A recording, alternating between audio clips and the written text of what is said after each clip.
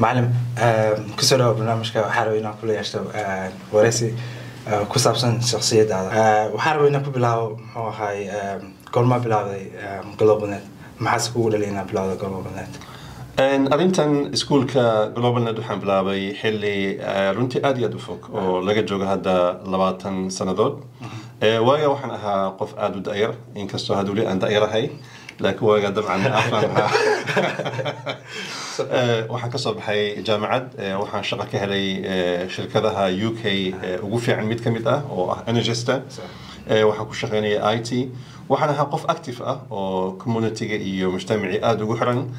Dabcan waxay ka heleen macnaha jaamacaddii aan ka soo baxay shaqadan ka shaqaynayay xilliga aan tegaayo dabcan runtii iyo iyo sida ay ahayd nolosheeda markaa iyada ah qaar badan oo ka mid a asxaabteydii ayaa waxay iga codsadeen haddii aan samayn karo maybe hal maalin weygii inaan tababar aan siiyo oo aan u dhigo basic i t courses. Marka taa ayaa waxay keentay runtii inaan okay aan idhaahdo oo hal maalin aan ka bilaabo. Dabcan weligeena waxaa niyaddeeda ku jirtay in gool walba aniga aan gaaro aan la wadaago aan la qaybsado dadkayga soomaaliyeed. Marka waa ii muuqanaya visionka ah in aan runtii aan dadka soomaalida ah aan dib ugu soo celiyo aqoontayda. Laakiin maadaama codsi badan isdabajoog ah uu imaanayay taa ayaa waxay soo boobsiisay ama soo dadejisay inaan si dhaqsa arrinta iyada u sameeyo. Maadaama adiga oo employment ku jirto tirahdid muxuu ahay hadda inaan wax baro ayaan diyaar u ahay. Misleeda waqtiga ma xasuusataa waqtiga? Waqtiga xasuustay aan aan sameeyey waxay ahayd waa dabayaaqadii 2001kii dhammaadkiisii. Waa markii barnaamijkan uu yimid meel inaan raadiye aan bilaabay oo aan nafsad abkii aan sameeyo. Laakiin teachinka waxaan bilownay 2002gii bishii koowaad. Oo markaan runtii i t gu ahaa waxaad cusub maanta waxaa arkaysaa guri walba oo soomaali ah dad i t ka shaqeeya in laga hela ayaa dhici karta. Laakiin xilliga aniga hadda aan ka hadlayo way yarayd inaa heshid qof soomaali ah oo i t ku shaqeeya. Marka aniga runtii qorshahayga maskaxda aan ku hayaa wuxuu noqday in maalin maalmaha ka mid ah doono oo aan samayn doono dad badan oo soomaali ah oo aqoon u leh culumta i t-ga waxaa laga joogaa xilliga iyada ah waa muddo aada u fog waxay ahayd waa 2001kii dhammaadkiisii 2002gii waa 20 years waa 20 years oo waqtigayga ka mid ah ugu qiimaha badnaa aan ku bixiyey macnaha enerjigaygii maskaxdeydii caqligaygii aqoontaydii in aan dhiso dad community oo soomaali ah oo leh xirfad aan maanta waxaan leeyahay runtii go'aanka maalinta aan qaatay go'aan aada u fiican ayuu ahaa. Leanna marihii ka soo baxay ayaan maanta u jeednaa in aad meel kasta aad ka helaysaan. Oo idinkaba aa ka mid tihiin maasha allah wax fiican. Ma xasuustaa ardayadii kugu horeeyey oo adiga aada wax barto ma misleeda waqtiga goorme ahayd runtii marka aan bilownay uma aan bilaabin qof qof waxaan u bilownay gruub ahaan waa xasuustaa gruubkii koowaad waxay ahaayeen ilaa iyo toban iyo sideed qofood ama ilaa sagaal iyo toban qofood ay ahaayeen. Waa qol ayaan fadhinay dhuuban oo waa buuxay qolka runtii qol yar ayuu ahaa. Qol noocaas oo kale ayaan ku bilownay marka ma ahayn hal qof kaliya wuxuu ahaa tiam dhan oo aan gruub ahaan u samaynay. Ilaa hadda qaabkan waxaan u bixino waa qaab noocaas oo kale. Waxaan u bixinaa waa koox ahaan ma aha one to one ma aha. Marka dadkuna waaga runtii aad ay uga heleen. Hal galaasaan ka bilaabay waa xasuusta oo sabti ahaa. Then waxaan arkay dadku ayagoo si isdabajoog u imaanaya oo dhahay yes anagana u baahannahay kuwo kale yimaadeen anagana u baahannahay so baahidiyaa sii badatay. Soomaali maxaa ku taqaanaa word of mouth. Macnaha qof walba meesha yimaada wuxuu u sii sheegay laba saddex qofood oo saaxiibadii ah familkiisa ah. Marka aniga xataa waxaan ku xisaabtamayay hal maalin ama laba maalmood. Laakiin muddo gaaban ayaa waxaan arkay iyadoo toddoba maalmood isbuuc oo dhan aan sameeyey galaasyo kala duwan oo aan isku nooc ahayn. Iyadoo iyadoo baahidii ay aad aada u badnayd. Macalin anaga si soomaaliya u nahay waxaa isku xirannahay dad isku xiran oo muxuu ahay wixii oo news oo share gareeyo oo especially word of mouth. Macalin muxuu ahay dhawaan waxaa ku jirnay covid nineteen. Sidee isleedahay muxuu ahay sidee cashiradii isu dejisatay sidee isleedahay oo isku bedeshay walahi horta waaga aan bilownay haddaan dib u noqdo waagaas waxaan ka bilownay meel loo yaqaan xaafadda wembley oo dadku badan ay wada yaqaanaan.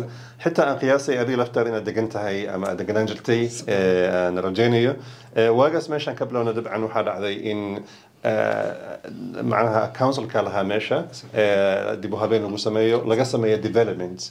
marka waan ka soo baxnay ka soo bixi aan ka soo baxnay ayaa waxaan nimid dhinacan eastiga waa jabal waa meesha caan aan ku noqonay dadko dhan ay nagu barteen ilaa muddo ayaan deganayn hadda dhowaan ayaan ka soo gurnay laba kun iyo laba labaatankii bishii sideedaad waxaan soo degnay hadda dis center hadda cusub aad joogtaan oo ku yaal xaafadda finsburg marka runtii muddada iyada ah dabcan dadka ka soo baxay iskuulka aaday u badan yihiin meelahay ka shaqeeyaan waa meelo runtii aad iyo aad u badan oo waaweyn. Haddaad tagtaan youtube videoskana waa arkaysaan dadkii ka soo baxa qeybo ka mid ah oo ka shakeynaya ka hadlaya taariikhdooda. Covid 19 markii aan soo gaarnay dabcan waxaa hakad ku yimid noloshii oo dhan. Dadkii shaqaynayay shaqadii waa laga joojiyey. Dadkii jaamacadda aaday waa laga joojiyey. Dadkii iskuullada aaday waa laga joojiyey. Annagii lafteena xitaa saameyn ayaa nagu yeelatay. Xaafadan ka soo bixi weynay. Marka taas ayaa waxay keentay in la sameeyo nidaam cusub oo waxbarashada aan ku soo gudbino dad baa is leeyahay muxuu ahay waxay jecel yihiin in muxuu ahaa casharadii ay u bartaan si face to face. Face to face maadaama ay adkaatay face to facekii waxaan dhahnay okay maxaan qaban karnaa maxaan samayn karnaa? Covid 19 wuxuu ahaa challenge. Runtii dad badan ayaa ku dhintay qaar badan oo ka mid a muslimiin ahaayeen ilaah u naxariisto. Dad badan ayaa runtii xoolahoodii ku waayay oo businesskooda u kacay xayraadii la sameeyey darteed. Laakiin dhinaca kale waxaa samaysmay nidaam cusub oo loo shaqeeyo nidaam cusub oo wax loo barto nidaam cusub oo macnaha maxaa lahdaa dadku isu dhex galaan. Marka carabtu waxay dhahaan masaa'ibu qowmin cinda qowmin fawaa'ido dad wax dhibaato u ah waxaa laga yaabaa in dad kale ay faa'iido. u noqotay. Marka dib u noqoto covid 19 macnaa intuu baabi'iyey waxaa ka badan dabcan marka laga soo reebo dhimashadii dadkii dhintay dhinaca dhaqaalahan ka hadlaya dabcan dadka noloshooda wax walba ka qaalisan laakiin dhinaca dhaqaalaha markaa fiirisid waagaas iyo hadda waxaad moodaa hadda inuu aad iyo aad dhaqaalihii u kobcay shirkado badan ay soo baxeen oo abuuray macnaha fikrado cusub oo ku dhisan online iyo maxaa dhahdaa iyo iyo remote working iyo system noocaas oo kale ah. Marka annaga nasiib wanaag waxaa dhacday in aan la jaan qaadno oo aan dhahno okay maxaan qaban karnaa? In kalaas dadku ha yimaadaan muxuma haddaan ka soo baxno covid 19 laakiin inta xayiraadda ay socoto in aan sii bilowno online. Onlineka markaasaan bilownay maanta waxaan dhihi karaa go'aanka wuxuu ahaa go'aan runtii aad iyo aad u weyn laanna dadka iskuolka dhigta ka soo gala online waa ay ka badan yihiin dadka yimaada galaaska badan dadka online ka soo gala ayaa aada u badan.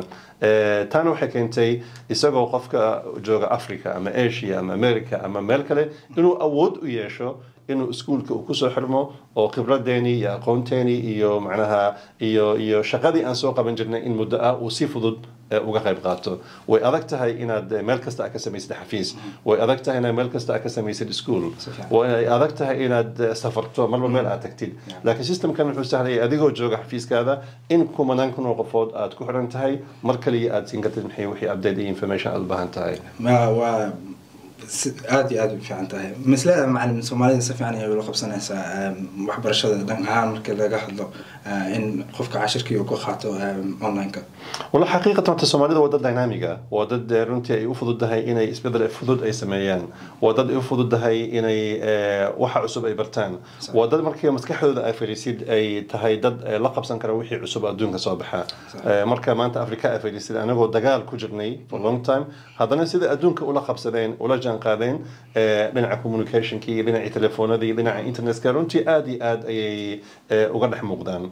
Marka waxaan aaminsanahay in ay wax badan la qabsan karaan oo ay runtii ay ay ay ay baran karaan ayagoo macnaha ka fog wayna wayna la qabsadeen. Waxaa kaliya ka maqan hadda anaga aan u baahannahay mustaqbalka in aan soomaaliya lafteeda aan xooga saarno. Lanna dibaddaan joognaa hadda dadka dibadda jooga wax badan waan soo dhisnay wax badan waan u qabanay in badan waan la tacaalinay horumar badan waan gaarsiinay. Laakiin meesha ugu muhiimsan oo dadkan ay joogaan waa back home.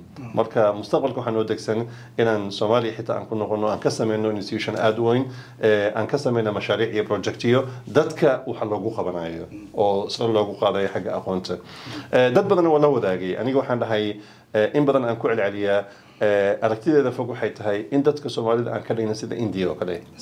Dadka hindiyada waxaa lagu tilmaamaya inay yihiin dad hightech ah.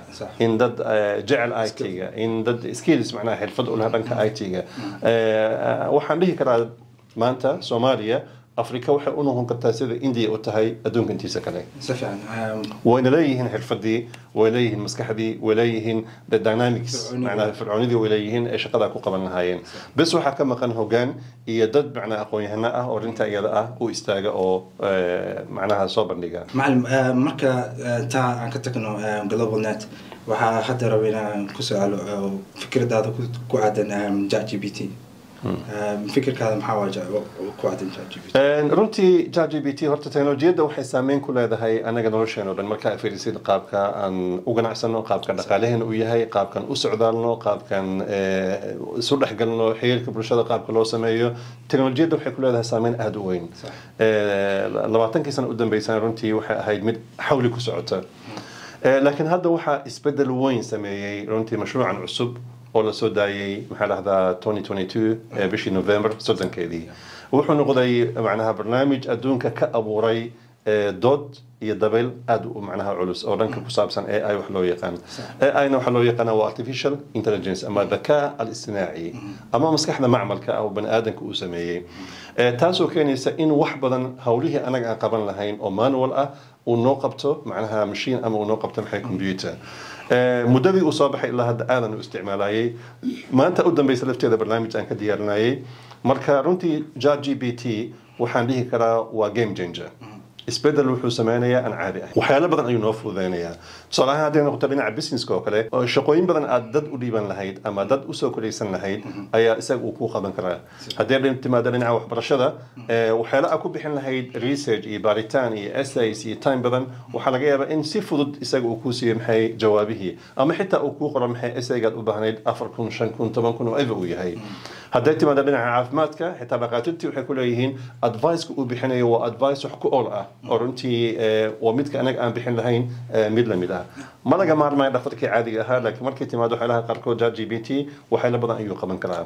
Marka runtii waxaan dhihi karaa a i mustaqbalka waa waxyaalaha ugu waaweyn ee dunida maanta aan ku noolnahay isbeddel weyn eh, ka sameynaya.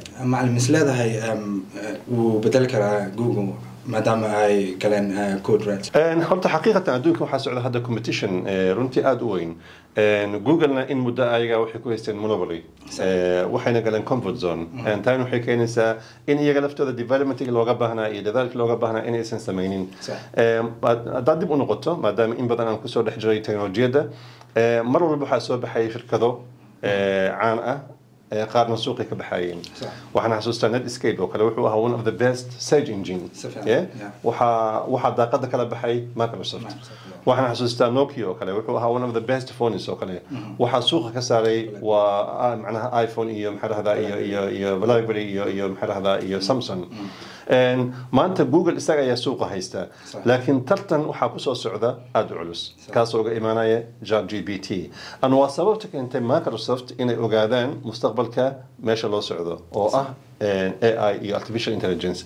Taasaa waxay keentay inay 10 billion eh, iyo another 2 billion ay hore u bixiyeen in ay macnaha maalgashi ay ku sameeyaan open ai open ai-na waa shirkadda samaysay g p t. Marka meesha waxaa ka muuqanaya cabsi badan oo soo wajahday google? Oo ah uga imaanaysa maxay dhinaca microsoft uga imaanaysa dhinaca kale shirkadaha kale oo sameynaya ai macnaha system. Marka ma dhihi karno runtii si dhaqso ayaa suuqa looga bixinaya ama si dhaqso ayaa hoos loogu dhigaya laakiin haddaysan sameynin waxyaalo tallaabooyin waaweyn oo ay wax uga qabanayaan qabarta ku soo socota waa loo qabaa in ay sii haystaan kaalinta hadda ay haystaan weli waxaa taa qayb weyn ka sii qaatay maalmo dhexda ay sameynayeen iyaga macnaa system ai ay soo bandhigi lahaayeen. Iyadoo damowgii uu socdo ayaa khaladaad ay yimaadeen. Taana waxay keentay in ilaa boqol bilyan sheerkoodii hoos u dhacay. Marka yes waxay galeen waa codroid waxay ku howlan yihiin in ay keenaan systemkii ay kaga hortagi lahaayeen chat g p t iyo microsoft because hadda search engine-ka ay microsoft already waxaa la geliyey uu ku xiran yahay chat g p t waxyaalo badan aada baaritaan uu ku siinayo waxaa base u ah maxay chat g p t. Oo si fudud ah oo nidaamsan aada ku helaysid marka dabcan google waa inay la yimaadaan tallaabooyin waaweyn oo ay uga hortagayaan tartanka intaa la ega hadda ku soo socda. Macalin su'aasha kale ku weydiinaya waxay tahay ma is leedahay su'aalo oo diiniyin oo weydii kartaa maxay tahay dhibaatada ka imaan karta xagga diinta markay timaado horta jar g b t wax walba aa weydiiso jawaab uu kaa siinaya laakiin jawaabahaas waxaad u baahan tahay inaad ku samaysid filter inaad kala shandaysid xagga diinta markay timaado dabcan waad weydiin kartaa waana tijaabiyey dhowr shay eh, waxyaalaha xagga diinta ku saabsan laakiin jawaabaha uu bixinaya waa jawaabo laga soo arooriyey meelo badan oo online ah jawaabahaasi ma yihiin kuwa sax ah ma yihiin kuwa diinta waafaqsan ma yihiin kuwa dhaqankana waafaqsan in badan waa laga yaabaa inay haa tahay eh, sax ay tahay laakiin meelo badan waxay u baahan tahay inuu qofka aqoon uu leeyahay ilaa xad ah si waxaan u dhaho way saxan yihiin ama way qaldan yihiin so mar kasta waxaan leeyahay haddii xagga diinta ay timaado ka digtoonow laanna jawaabta uu ku siinaya jar g b t waa jawaabo laga soo arooriyey meelo badan online ah. Marka ma aha mid oo eh, official ah ama mid eh, macnaha aan dhihi karno waa jawaabtii kama dambaysta ahayd so wixii diin xaggeeda ku saabsan eh, arag macnaha ra'yi ka qaado laakiin waa inaa weydiisaa dadka ahlu cilmiga ah oo marka meesha adiga aad joogtid eh, ka agdhow aysan noqon kaliya inaad ku qanacdo ama ku kaaftoonto jawaabaha uu ku siinayo jar g b t waa wax fiican inaa filter shanel ku samayso inaa shannin ku samaysid yes waqtigan ugu yar barnaamijkina soo gabagabayna aan jecelahay macalin mis leedahay shaksi adiga oo aa ku dayato ma jira waa good question. Uh, of course macnaha qofka bani aadamka waa inuu leeyahay uh, role model. Uh, qofka ku dayanayo. Uh, taa la'aanteedna qof dabcan weligaa horumar ma gaaraysid. Waan xasuustaa ciyaalnimadeydii macnaha markaan yaraa dad badan waxaa jiray uh, culamo ahaa wadaada ahaa aan ku dayan jiray aan tiigsan jiray. Weligay waxaan ahaa qof active ah xagga waxbarashada active ku ahaa. Macalimiin waxaan lahaa aan ku daydo aan dhihi jiray. Alla ilahe macnaha saasoo kale aan noqon doontaa markii aan dibadda u soo baxay eh, qof waxaa noqday wax aqriya macnaha buwaagta aqriya qof waxaa noqday adduunka ku xiran. Eh, dad badan oo maanta adduunka eh, laga yaqaan ayaa waxaan ka dhiganayay macnaha tusaale ahaan aan dhihi jiray alla ilahe qofka noocaas oo kale wuxuu waxaa heli kartaa eh, buwaag aad u badan. Waxaa heli kartaa videos aad u badan. Waxaa heli kartaa resources badan oo aad eh, dad badan maskaxdooda aad kala soo bixi karto fikradaha ay hayaan. Marka ma keliya hal qof aan ku daydo bal waxaan leeyahay runtii boqolaal qofood aan ku daydo oo aan aqriyo buwaagtooda oo aan daawado videoskooda aan daawado podcastigooda eh, oo aan aniga ka faa'iidaysto. Intaa keliya ma hataan u soo gudbiyo aan la wadaago dadka kale aniga ugu sii oo runtii aan aan ah, aqoon ahaan aan is leeyahay maanta wax badan waa u faa'iidayn kartaa. Macalin aad iyo aad aa umahadsan tahay uh, we gonna have to leave it there. Uh, thank you